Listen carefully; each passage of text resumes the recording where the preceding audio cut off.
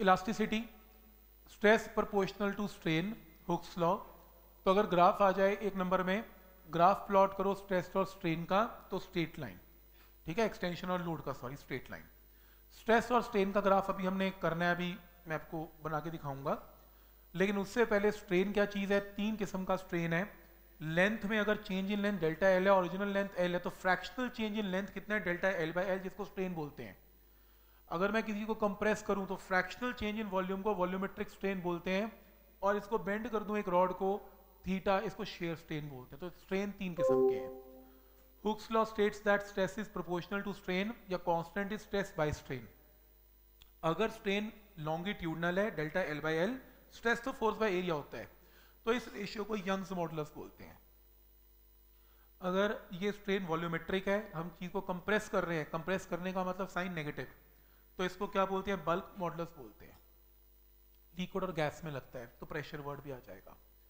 और नेक्स्ट है ईटा इसको बोलते हैं मॉडल्स ऑफ़ रिजिडिटी गलत लिखा है रिजिडिटी आएगा। स्ट्रेस बाय थीटा तीन फॉर्मूला याद रखने हैं। Work done in stretching wire आ सकता है, या elastic potential energy stored in wire आ सकता है पेपर में। आपके पास एक वायर है जिसकी लेंथ एल है। आपने स्मॉल एल खींच दिया तो आपने जितना भी वर्क डन किया खींचने में, वही इसमें एनर्जी स्टोर हो जाएगी, वही इसका वर्क डन है। तो इसके अंदर यंग मॉडल्स लगाओ फोर्स बाय एरिया बिकॉज़ ये वायर इलास्टिक है small L by capital L यहाँ से क्रॉस मल्टीप्लाई करके फोर्स निकालें। Force into small displacement small work done limit लगाएँ फोर्स की वैल्यू पुट करें लिमिट लगाएँ ज़ीरो से एल इंटीग्रेट करें तो आपके पास ये टर्म आएगी। एल स्क्वायर को दो बार लिखें तो ये पूरी टर्म अभी निकाली फोर्स है और ये एल है तो क्या आएगा? Half into force into small l is amount of work done तो कई बार पेपर में आएगा work done per unit wire निकालो। Work done sorry work done per unit volume निकालो। Work done per unit volume energy density एक ही बात है।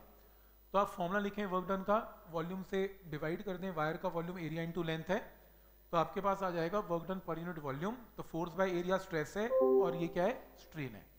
तो half into stress into strain is formula for work done per unit volume Y stress by strain है तो stress Y into strain है stress की जगह वाई इंटू स्ट्रेन है तो ये भी formula work done per unit volume और ऐसे ही स्ट्रेन की जगह स्ट्रेस बाय वाई पुट करेंगे तो work done per unit volume के तीन फॉर्मुलाज हैं, कोई भी याद कर सकते हो। स्ट्रेस वर्सेस स्ट्रेन ग्राफ पक्का आएगा, जिसके अंदर स्ट्रेस और स्ट्रेन के ऊपर पूछा जाएगा ग्राफ प्लॉट करके इसको डिस्कस किया जाए। तो एक इलास्टिक वायर है, आपने हल्का सा खींचा तो stress proportional to strain OP graph OP तक स्ट्रेट बनेगा। It shows that stress is proportional to strain और हुक्स लॉ इसमें वैलिड है। आप थोड़ा और खींचते हैं उसकी इलास्टिक लिमिट तक तो इलास्टिक लिमिट से छोड़ देते हैं तो वापस वायर ओरिजिनल पोजीशन में वापस आएगी। कोई इसमें परमानेंट स्ट्रेन नहीं होगा तो वापस ओ पे आ जाएगी। पर अगर आप इलास्टिक लिमिट को क्रॉस करते हैं तो मान लो ए पे लेके आते हैं तो आपने इलास्टिक लिमिट को क्रॉस किया तो वायर ओ पे वापस नहीं आएगी ओरिजिनल लेंथ पे वापस नहीं आएगी लूज हो जाएगी। लूज होने का मतलब परमानेंट क्या आ जाएगा, उसमें स्ट्रेन आ जाएगा। उसके बाद और खींचोगे तो वो टूटी जाएगी फेलियर पॉइंट आ जाएगा तो ये ग्राफ को आपने बनाना है और डिस्कस करना है। इसकी जो थ्योरी है, वो आगे आने वाली शीट में लिखी हुई है।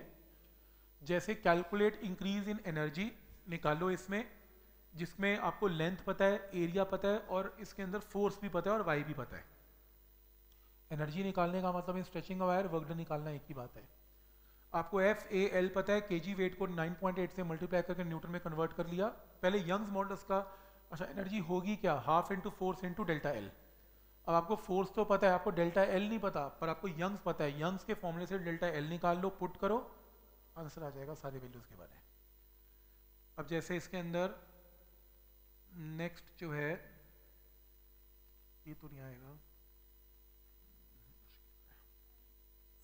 ये देखो, ये थ्योरी है स्ट्रेस और स्ट्रेन की ये थ्योरी है। तो ये ग्राफ आपने पढ़ना है और इसकी थ्योरी यहाँ से आपने पढ़नी है।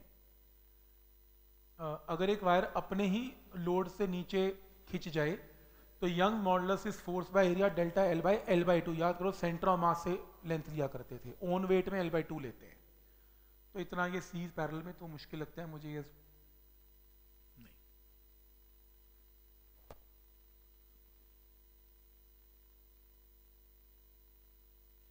wire can be broken by applying a load of 20 kg weight. Force required to break the wire of twice the diameter. जो वायर को तोड़ना है या कुछ करना है तो स्ट्रेस, ब्रेकिंग स्ट्रेस कभी चेंज नहीं होता। और स्ट्रेस क्या होता है? Force by area. तो F one by A one F two by A two बराबर है। तो एफ़ टू निकालना है। एफ़ वन आपको क्वेश्चन में गिवन है और area second four time area of first given है। यहाँ से F two can be calculated तो ब्रेकिंग लोड सेम है इसमें। इसके अंदर जैसे, ये तो नहीं, ये भी नहीं आएगा, इतना बड़ा क्वेश्चन नहीं आएगा। ये देखो। Length of the wire L1 है, जब टेंशन उसमें टी वन है। Length of the wire L2 है, जब टेंशन उसमें टी टू है। ओरिजिनल लेंथ बोलो क्या है वायर की? तो यंग्स का फॉर्मूला लगाओ force upon area delta L one by L तो फिर लगाओ force by area delta L two by L क्योंकि टेंशन टी टू है तो डेल्टा एल टू ऐसे। पर क्योंकि मटेरियल सेम है तो वाई की वैल्यू दोनों में क्या रहेगी? सेम इक्वेट कर दिया। डेल्टा एल वन क्या होगा? जो अब लेंथ है minus L delta L two क्या होगा? जो अब लेंथ है माइनस एल क्रॉस मल्टीप्लाई करके एल निकाल देना आंसर आ जाएगा। तो यंग मॉडल्स के दो फॉर्मुला लगेंगे वाई चेंज नहीं होगा, दोनों को इक्वेट करके आंसर आएगा। इसके अंदर ये क्वेश्चन पक्का आएगा which is more elastic rubber या स्टील तो आंसर इज़ स्टील तो रीजन देना होगा, अगर एक नंबर में आया तो लिख देना वाई यंग मॉडल स्टील का बड़ा होता है एज कंपेयर टू रबर दो नंबर का आया तो फिर साथ में वाई लिख देना। ऐसा लिखना है कि अगर दो सैंपल्स ने एक स्टील का और रबर का, सब में फोर्स लेंथ और एरिया सेम रखें। जब हम स्टील को खींचेंगे तो डेल्टा एल स्टील का कम आएगा तो वाई ज़्यादा आएगा। रबर को खींचेंगे तो डेल्टा एल रबर का ज़्यादा आएगा वाई कम आएगा प्रूफ हो जाएगा। ठीक है, यहाँ तक? भाई, इतना सफिशियंट है।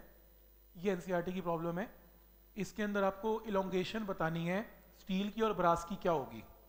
आपको सब कुछ गिवन है यंग मॉडल्स भी गिवन है तो आप यंग मॉडल्स के फॉर्मूले से डेल्टा एल एक तरफ़ निकाल लेना बस फ़र्क ये है कि जब स्टील है तो फोर्स की जगह क्या पुट करेंगे? फोर प्लस सिक्स टेन के जी टेन इंटू जी और ब्रास में क्या पुट करेंगे? सिक्स इंटू जी तो टेंशन समझ में आ रही है फोर्स इसमें ज़्यादा, इसमें कम। बस और कुछ नहीं है इसमें।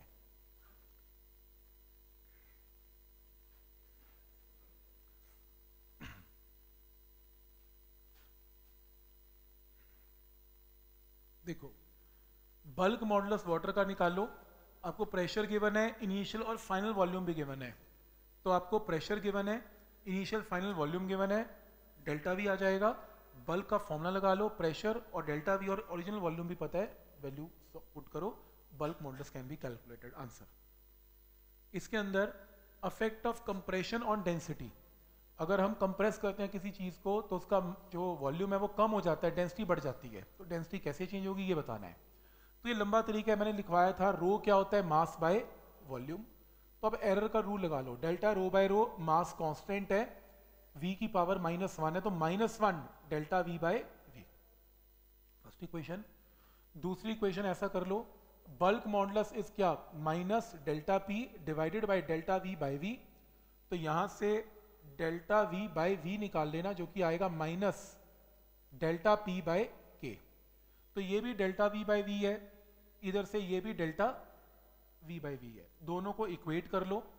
इक्वेट करोगे delta rho by rho is equal to कितना आ जाएगा? डेल्टा पी बाय के ऐसे। डेल्टा रो क्या लिखेंगे? Rho dash minus rho by rho is equal to delta P by तो यहाँ से सॉल्व करके rho dash by rho minus one ये तो यहाँ से रू डैश कैन बी कैलकुलेटेड तो अगले पेज में किया हुआ ये रहा। तो सॉल्व करके रू डैश की वैल्यू आ जाएगी। One by bulk modulus compressibility answer आ गया। तो ये डेरिवेशन भी आ सकती है। पॉइसन रेशो आने का चांस इसमें कम लगता है मुझे।